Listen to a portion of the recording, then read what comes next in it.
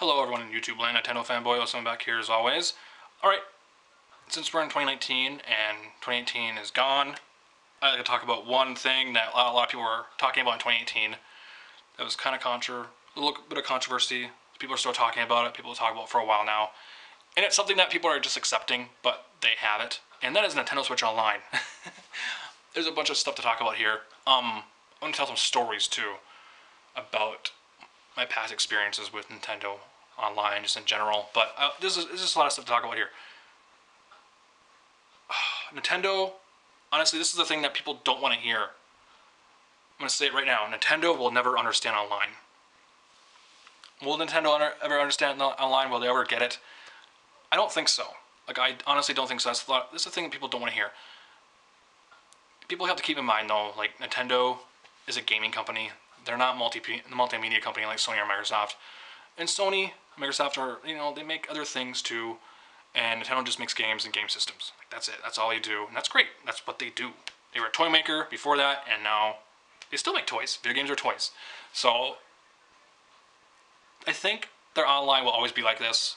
You know, people are just mad. People are mad because they're paying twenty dollars online. Why are we paying twenty dollars online? Where is it going to? I don't know. Like, where is that twenty dollars going to? Because the games that we're playing have don't have don't have dedicated servers. It's all peer to peer. All depends on your internet connection, and it, and, and it depends on your internet provider too. You know, that's that's honestly the thing. Like me personally, like I live in in town. I don't, I don't live in the middle of nowhere. I don't live in the sticks. I don't live in the middle of nowhere. I live in town, so I have good internet. I know there's some people that live in town that don't have good internet either, but like I said, it depends on your internet service provider too. So that comes into play. There's a lot of things that comes into play. Um, I wish Nintendo would get servers for Splatoon. Even though Splatoon 2 is not that bad online. There's some lag in there, some whatever. But Smash, I'll get to that on a sec here.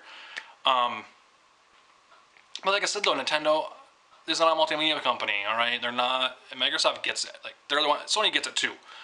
Like they really do more than Nintendo. But I think Microsoft gets it even more. Like they just, yeah, they're just the online guys, man.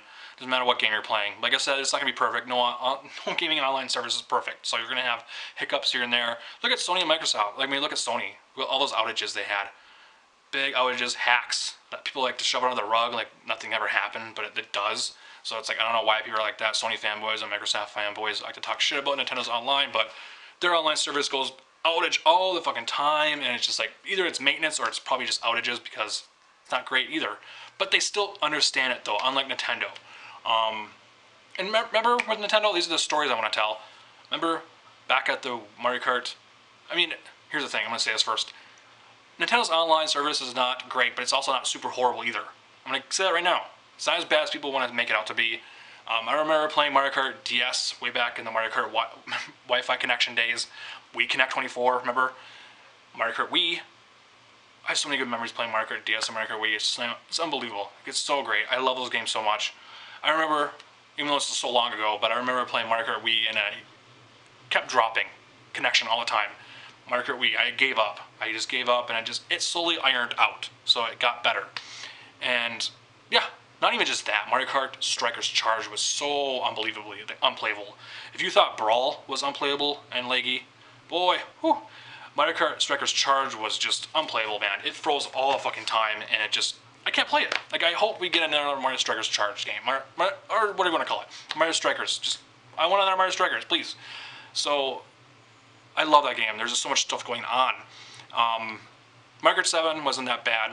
That was great. Some some disconnects, but just like Mario Kart DS and Mario Kart Wii, like I said, Mario Kart Wii ironed it out. Mario Kart 7 was great. Um, Mario Kart 8 on Wii U, great. Some disconnects, great. So, near perfect. So there's not a lot of stuff going on there, so you're not going to get a lot of disconnects. With Smash, there's a lot going on. Um, oh yeah, and also Smash on 3DS and other Mario Sports games too. I played. Um, I played Mario Kart Sport uh, Sports Mix on the Wii. That wasn't that bad. Actually, that wasn't bad at all. Um, versus Capcom. I played that on the Wii. Not great. Some I played. I played a little bit of it. I gave up on it.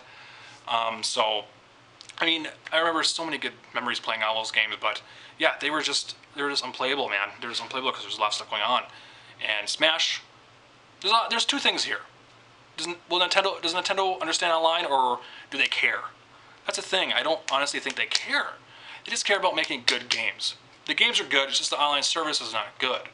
Um, but you have to rely on that to play with randoms online. So get better, Nintendo. Um, it's one of those things like I don't think they care. They act like they care, but they don't.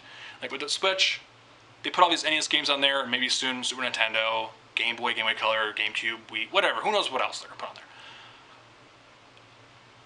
They're just doing. They're putting those games on there to make up for what the online is, because it's just it, you pay for what you get, and then you get the NES games and the, these free games. Obviously, they're old games, so they're course they're gonna, gonna give you for free. They're gonna be on there forever. So it's just one of those things like that's good incentive to get the Switch Online to play these old games, games you grew up with, even though people played them over over and over to, to death. I have these games on everything else, you know, but it's, it's cool to get that to play on your Switch and whatever. And they look great too in HD. But other than that, like, that's all I have to say. You know, like, I just don't. I don't think. I think it will be decent. I think it will. It will get slowly get better, but it will never be like this is Nintendo finally has it. They got it. They got. They get online. You know. Um, it'll always be this way. I know a lot of people don't want to hear that, but it's one of those things like they're a gaming company. They're not multimedia. They're not online like Microsoft and all that stuff. So they're not tech savvy in that way. They're obviously the old, old Japanese guys and Nintendo uh, stuff just don't understand that type of stuff. They're trying to figure it out, and God, it's just it's a shame, you know. So comment up below. What do you think, Nintendo? Will they do they understand it or do they care? Will it get better? You know, like I don't know. What's your memories of playing other past Nintendo online games? You know, like Mario Kart DS, Wii, Mario Strikers, whatever. What's your memories and all that about them? Were they great? Were they bad? so anyways, peace out. More random videos coming soon. Coming up on this. Later.